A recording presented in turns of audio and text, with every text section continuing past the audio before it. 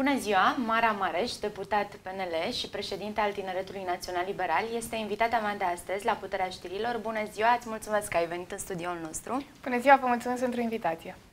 În uh, weekendul care a trecut, uh, știu că a fost uh, gala Tineretului Național Liberal, la care a luat parte și președintele României, Claus Iohannis. Cum a fost întâlnirea tinerilor liberali cu președintele Claus Iohannis? Excepțională.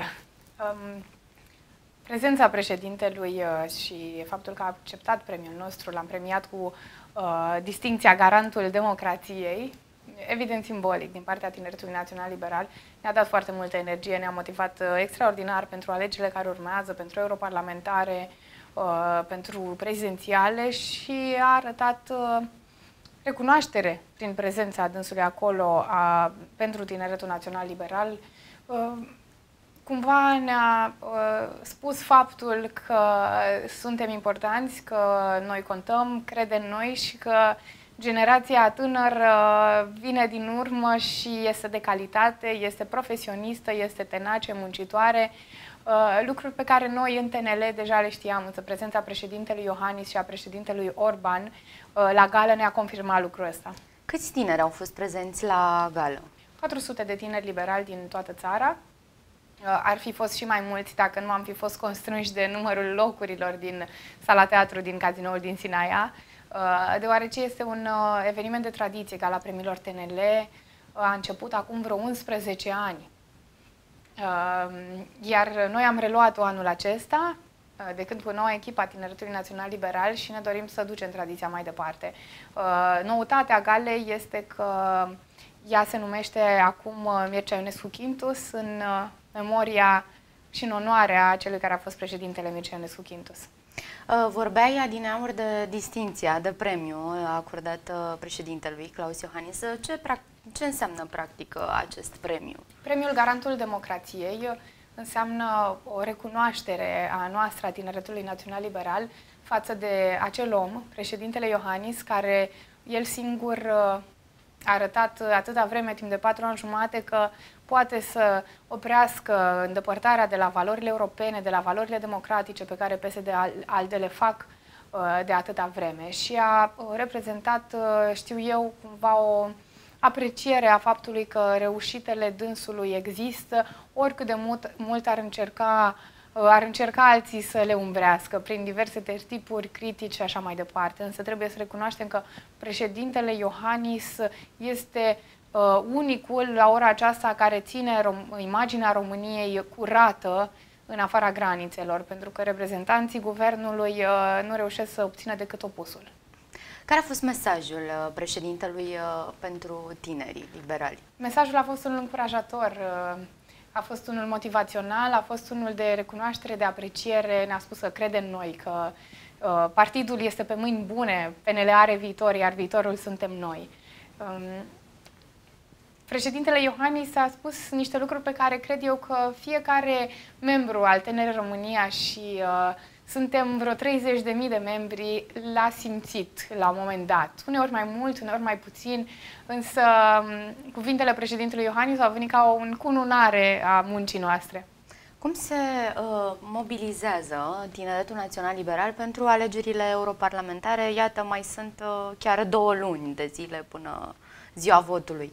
Da, timpul trece foarte repede. Noi suntem foarte mobilizați deja, am fost în stradă, am strâns semnături. Uh, um, până ieri am strâns semnături pentru că astăzi ele au fost depuse la uh, Biroul Electoral Central, iar Partidul Național Liberal a strâns cel mai mare număr de semnături dintre toate partidele politice, 1.400.000 de semnături, ceea ce înseamnă o cifră enormă și înseamnă că dacă noi am reușit să fim primii la strânsul de semnături și la cum merg lucrurile și la uh, Uh, felul în care s-a poziționat PNL, la cum a muncit, sunt convinsă că uh, tot primii vom fi și atunci când uh, se vor încheia alegerile pe 26 mai seara la ora 9, cred eu că PNL-ul va fi tot acolo primul.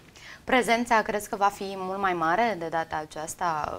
Veți reuși să mobilizați mai multă lume să iasă la vot decât așa cum a fost în celelalte dăți? Știm că la alegerile europarlamentare de obicei prezența este destul de scăzută da, dinamica alegerilor europarlamentare, pentru că deseori uh, ori politicienii nu știu să prezinte ceea ce se întâmplă la nivel european, ori uh, există niște uh, sinapse în comunicarea, în comunicarea de la UE la nivel național și asta nu e valabil doar pentru România, ci și în celelalte state membre europene, care nu, nu cumva există niște, niște pauze acolo în comunicare și de aceea de foarte multe ori oamenii nu înțeleg exact ce se întâmplă acolo, de ce mergem la vot la alegerile europarlamentare. Uh, ori uh, europarlamentarii noștri, cei în funcție, dar și candidații noștri, au arătat că Europa poate să conteze și că acum noi din opoziție avem o singură șansă de a influența vreo decizie pentru România împotriva uh, acestei pseudo-dictaturi pe care o exercită PSD-ul și anume aceea uh, influența de la, uh, din Parlamentul European, din Comisie și din uh, Consiliul European. Uh, iar un număr mai mare de parlamentari PNL înseamnă o influență mai mare a României în deciziile europene. Am obținut foarte multe lucruri deja. Uh, foarte, foarte puțină lume știe că uh, acele câteva milioane de euro care au fost alocate pentru despăgubiri, pentru pesa porcină, care a nenorocit atâția oameni și atâtea ferme românești, au fost alocați uh, la inițiativa PNL și mai exact la inițiativa lui Zicfrid Mureșan. Faptul că noi vorbim cu tarife mici în roaming, tarife identice cu cele naționale, este din nou o inițiativă a Dinei Vălean, europarlamentar PNL.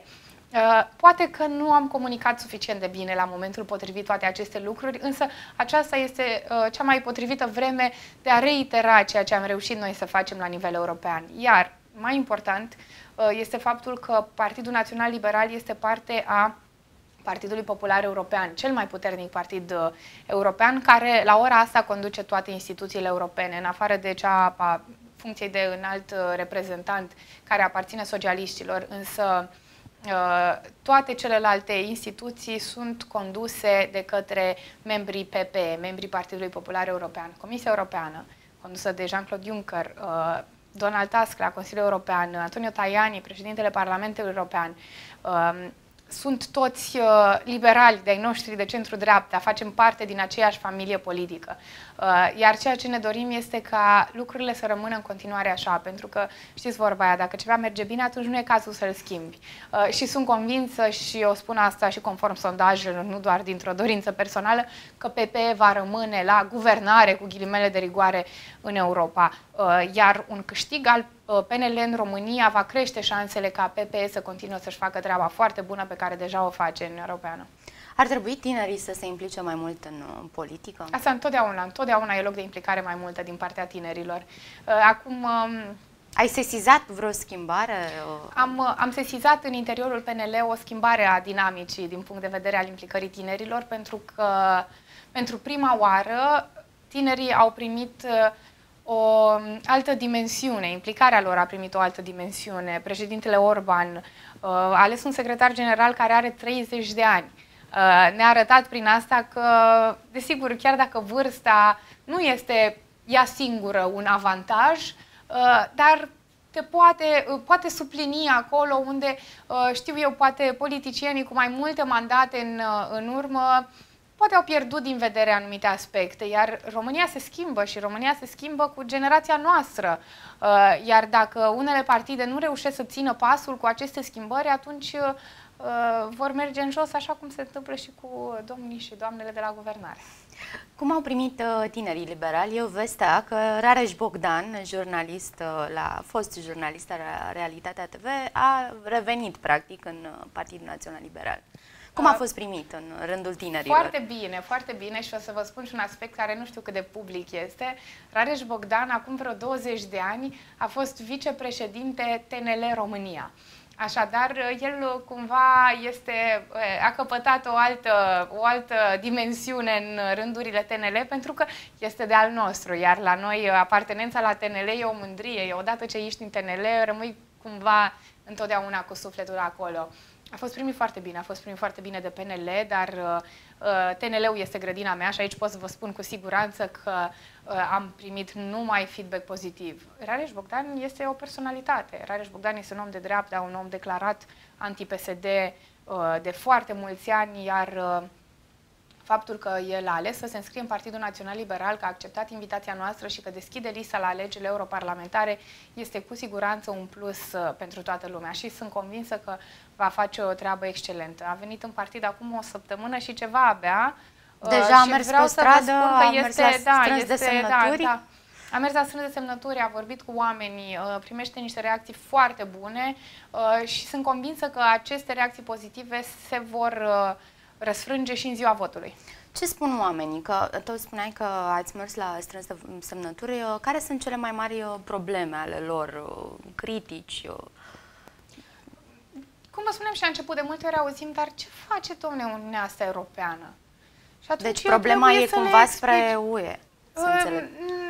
E greu de multe ori uh, să înțelegi exact uh, ce pleacă de la UE și ce pleacă de la tine de acasă, de la primarul tău, de la guvernul tău, de la Consiliul tău județean. Cumva acestea deseori se, uh, se intercalează și e greu să distingi între beneficiile unui uh, unei, unui Consiliu Județean și care vin de la un Consiliu Județean și care vin de la Uniunea Europeană. Însă uh, primarii Partidului Național Liberal sunt uh, efectiv excepționali la atragerea de fonduri europene. Bolojan de la Oradea, uh, Mircea Hava, Alba, uh, Scripcaru de la Brașov, uh, Vlad Oprea de la Sinaia, domnul, uh, domnul Falcă, exact. Ah, Mă bucur să aud. Deci sigur ați auzit despre, despre fonduri europene uh, cu prisosință. Uh, însă acestea sunt niște lucruri care, uh, din păcate știți, apare, se uh, construiește o fermă, se construiește o, mă rog, un, un lucru mare, bun, care vine de la Uniunea Europeană și vezi acolo într-un colț acest uh, proiect a fost realizat cu fonduri europene. Aici este problema Uniunii Europene că nu știe să se vândă mai bine. E așa un sentiment de nu trebuie să ieșim prea mult în față. E bine, eu cred că trebuie și cred că oamenii trebuie să știe că apartenența noastră la Uniunea Europeană este cel mai bun lucru care ni se putea întâmpla că banii europeni trebuie folosiți, că trebuie să fim mai serioși, că trebuie să fim profesioniști, că trebuie să luăm exemplele, exemple de la statele din jurul României care au același trecut comunist ca și noi, dar care s-au descurcat excepțional în folosirea banilor europeni. Din păcate, noi suntem în continuare codași și mă doare sufletul când mă uit la Polonia și văd că um, au un mecanism extraordinar de atragere de fonduri europene, au niște, niște uh, succese incomensurabile, iar noi uh, pierdem dosare prin uh, Ministerul Fondurilor Europene, uh, o luăm pe Rovana Plum și o punem uh, prima pe lista PSD la europarlamentare, mi se pare o absurditate, adică nu poți să lauzi cu Rovana Plum când ea n-a știut ce să facă cu banii europeni și o trimis tocmai la UE să le spune și lor acum, să fie un exemplu și acolo de așa nu, mi se pare ireal, dar uh, da, fiecare cu deciziile proprii politice, jocurile și așa mai departe. Cât de nemulțumiți sunt oamenii de pe stradă față de actuala guvernare, PSD-ALTE? Foarte Ce nemulțumiți, vă spun? foarte nemulțumiți și am... Uh, știți, una este când uh, vezi la televizor nemulțumirea, când vezi uh, pe Facebook, când discuți cu alți politicieni, dar când vorbești cu omul care trece pe stradă, atunci înțelegi exact care este uh, răsfrângerea, ce facem noi, a ceea ce facem noi în zi cu zi în viața reală. Uh, și sondajele spun același lucru, că românii uh, cred că România se îndreaptă într-o direcție greșită. Uh, și așa și este. Și mă bucur că na, românii și-au dat seama că uh, ceea ce se întâmplă la guvernare este total greșit și că uh, interesul României nu primează, îi primează interesele de grup, interesele personale. Uh, tot ce își doresc uh, e să-și albească dosarele, dar uh, lucrurile cu adevărat importante nu contează. Președintele Claus Iohannis, potrivit ultimelor informații, va organiza un referendum uh, pe justiție, odată chiar în acea zi cu alegerile europarlamentare. Cât de oportun uh, ți se pare un astfel de demers? Un referendum pe justiție este oportun în momentul acesta? Un referendum pe justiție uh, este total oportun. Pentru că ceea ce s-a întâmplat cu justiția din România în ultimii doi ani jumătate este inacceptabil. Am primit atât de multe avertizări de la Uniunea Europeană, am primit avertizări chiar și de la PES, socialiștii de la nivel european care s-au uh, dezis de tot ceea ce a făcut Dragnea, de uh, tot ceea ce a făcut Iordache, Tudorel Toader și așa mai departe. Uh, iar referendumul pe care dorește președintele Iohannis să-l facă este total susținut de Partidul Național Liberal. Se va implica Tineretul Național în vreun fel? Va face vreo campanie de informare?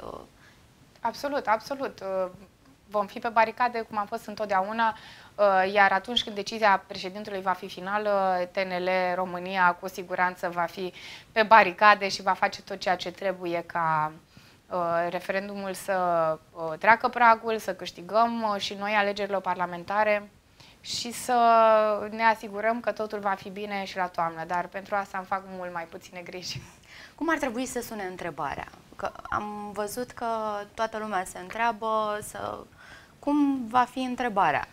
Acum nu mă pot substitui eu președintelui României. Vom afla de la dânsul cum uh, va suna întrebarea. Probabil va avea uh, o referire la corupție, la... Uh... A, va, ar, avea, ar trebui să aibă o referire la corupție sau mai degrabă eu, la sistemul sincer, v-aș întreg? spune dacă aș, dacă aș avea vreo informație concretă cu privire la asta, însă deci este decizia președintelui. Chiar nu știu la momentul ăsta cum va, refera, da, cum va arăta, dar probabil va avea o o referire la, la uh, corupție, la uh, subminarea justiției. Acum vom vedea cum va fi formulată. Trebuie să fie formulată simplu, dacă mă întrebați pe mine, așa încât oamenii să înțeleagă, să nu se întrebe în cabina de vot, dar oare ce au vrut să zică oamenii ăștia cu întrebarea asta?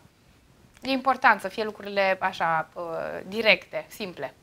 Pe final, uh, în ce fel de proiecte se mai uh, implică Tineretul Național Liberal? Sau ah. ce are în vedere cel puțin până la sfârșitul acestui an? O întrebare foarte bună. O avem foarte multe proiecte și uh, vă rog să mă opriți acolo dacă o să vorbesc prea mult pe tema asta. Acum că am trecut de uh, școala politică de la Sinaia, pentru că gala premiilor TNL a fost în cadrul unei școli politice, uh, unde am, uh, am uh, disecat, am analizat și ne-am făcut planuri de campanie pentru alegerile parlamentare cu 15 ateliere, paneluri și așa mai departe.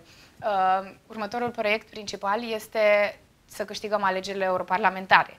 Um, dar, ca și proiecte ale, uh, ale Tineretului Național Liberal per se, uh, avem un proiect mare de Smart Administration, uh, dorim să preluăm acele bune practici din domeniul digitalizării, din administrațiile care au reușit să să-și uh, cumva să renunțe la birocrația clasică, la dosarele cu șine și au totul se întâmplă pe calculator, iar uh, consilierii noștri locali, consilierii județeni din TNL sunt uh, foarte doritori și foarte deschiși, deschiși pe, pentru segmentul digitalizare, pentru că ăsta e viitorul.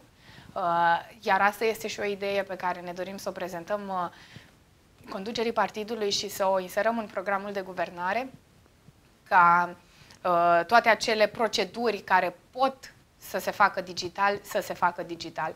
Și aici nu trebuie să inventăm noi roata, ci avem exemple foarte bune uh, de primării Alba, Sinaia, Oradea, unde orice hârtie intră în secunda 2, este scanată și urcată pe internet, poți urmări întreg procesul uh, din primărie, uh, transparență, în primul rând, eficiență, Practic asta profesionalism. e și problema României, da, birocrația. Da, birocrația, o problemă uriașă, da, știți gluma aia, nu? Că declarațiile online se depun la etajul 2. Cam așa funcționează de, în foarte multe locuri în România și este de datoria noastră, a generației tinere, să schimbăm lucrul ăsta și să aducem digitalizarea uh, la un nivel mai înalt și în administrație și și în politică. Are TNL-ul un plan, o campanie de conștientizare a importanței votului la alegerile europarlamentare? Absolut, absolut și deja pregătim o campanie în care să le explicăm tinerilor de ce este important să se prezinte la vot. Pentru că știți cum spun și nu neapărat tineri, ci foarte mulți, votul meu nu contează. E bine, votul tău cu votul tău și cu votul tău s-ar putea să facă diferența. Sau uh, ce uh, și... rol am eu, eu sunt europar- ei sunt europarlamentari la Bruxelles și exact, exact. nu ne și ajută de aici, foarte mult în România. România. De aici e foarte aici... important să înțeleagă cum se răsfrânge activitatea europarlamentarilor noștri în România. Și v-am explicat mai spre începutul emisiunii de ce e important ca PNL să aibă cât mai mulți parlamentari, pentru că atunci vom putea influența și mai mult uh, deciziile europene. Iar în ultimul mandat am reușit să obținem multe lucruri bune care s-au, s-au simțit în viața de zi cu zi și sunt convinsă că dacă lucrurile vor merge în același ritm și vor merge, atunci, uh, atunci aceste lucruri uh, bune vor continua. Cât de des uh, se întâlnesc uh, tinerii liberali cu uh, Ludovic Orban, președintele PNL? Foarte Cât de des, des au loc întâlnirile președintele și cum PNL, se desfășoară ele da, așa, dacă este, poți să ne spui din culise? Sigur că da, sigur că da. Președintele Orban este prietenul nostru și este aproape de noi, ne susține, cum, nu știu, poate greșesc eu, dar nu cred că am mai făcut vreun președinte liberal înainte să fie atât de aproape de organizația de tineret. Acum, uh, desigur că se întâmplă uneori să uh, nu să avem agende diferite, dar să avem păreri diferite pentru, uh, din cauza faptului că aparținem, aparținem unor generații diferite. Însă la președintele Orban lucrul ăsta nu se simte efectiv. Am, am fost și colegii mei uh, de asemenea fascinați de faptul că ne înțelege exact așa cum suntem noi și nu ne întreabă foarte des de ce, ci pur și simplu înțelege exact ce se întâmplă. Ne-a susținut demersurile pentru digitalizare de care vă vorbeam mai devreme, evenimentele naționale, o școală de vară a TNL care are participări record în fiecare an de câte 800 de tineri liberali uh, și este foarte aproape de noi. Desigur, uh, unele cazuri e o, o ședință formală unde este invitatul nostru la Birou Executiv Național al TNL, alteori pur și simplu bem o cafea și dezbatem. Cât de aproape, dacă pot să spun așa, este președintele Claus Iohannis de Tinerii Naționali Liberali. Am văzut, a fost în weekend. Când, după, uh, după această gală după pot să vă spun că foarte, foarte aproape și energia pe care ne-am luat-o din uh, atitudinea și abordarea președintelui Iohannis față de TNL uh, ne va ține multă vreme de acum încolo. Eu îți mulțumesc pentru prezența alături de noi, îți doresc mult succes și te mai așteptăm pe la noi. Vă mulțumesc foarte mult! Mulțumesc! Oricând!